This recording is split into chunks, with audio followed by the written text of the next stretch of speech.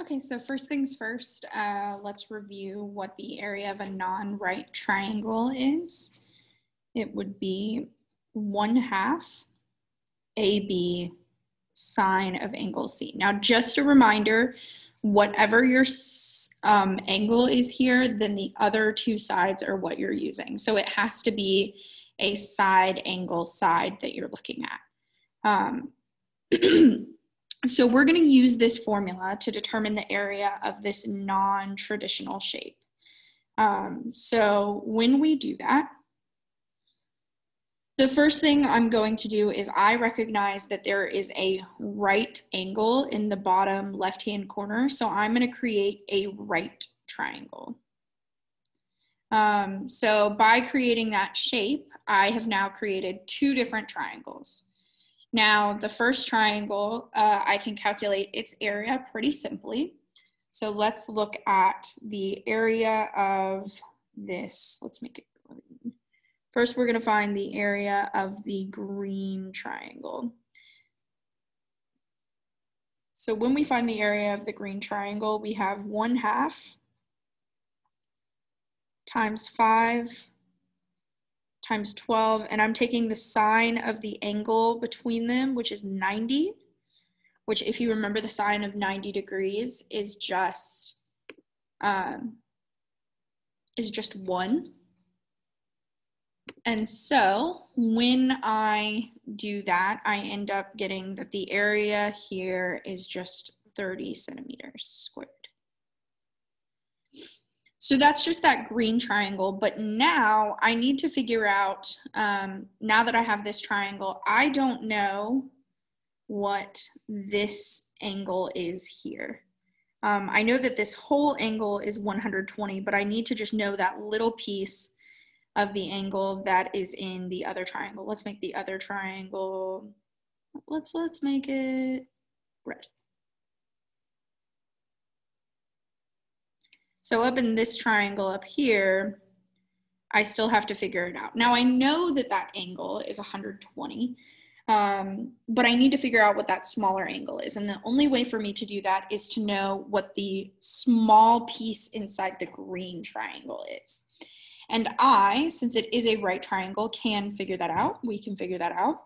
So that small angle here, um, right here, uh, that small angle is going to be calculated using our tangent identity because we have opposite and adjacent.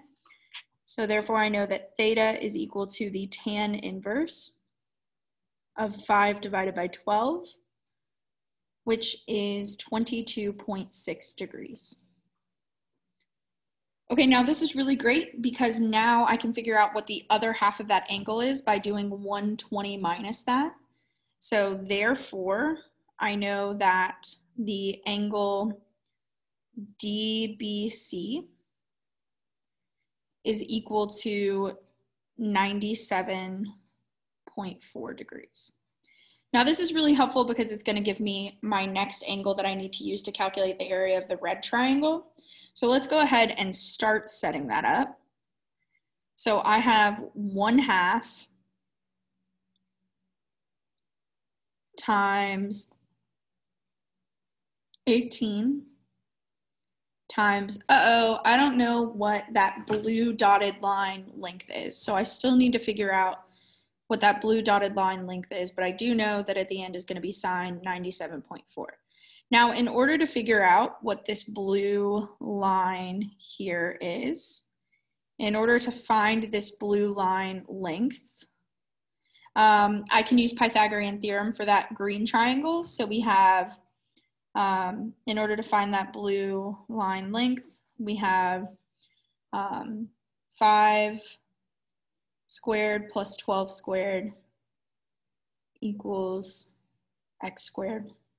Um, which once you solve that out, we find out that that side is 13. Now I solve this area equation right here. And when I do, I end up getting that this is equal to 116 centimeters squared. Now that's just the red triangle, but we already found the area of the red triangle as well. So if we add those two together, then we will have the area of the entire figure. So the area of the entire figure would be equal to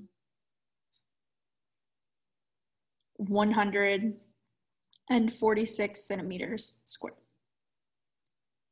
Pretty straightforward, you just have to know how to break it up um, and then you're able to use two different triangles. So you're just creating triangles in order to figure out what a non-traditional shapes area is.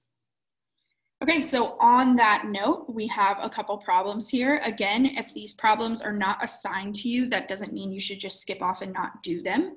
I highly recommend doing them, but in case you get stuck, the people who are responsible for each one are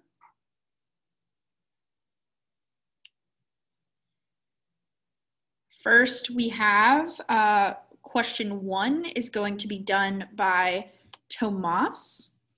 Question two is going to be done by Andrew. Question three is going to be done by Bella.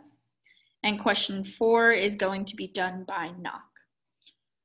But again, I encourage everyone to look at all of the problems, but those are the ones you're responsible for this week. Okay, great. I will um, see you all on Wednesday slash Thursday.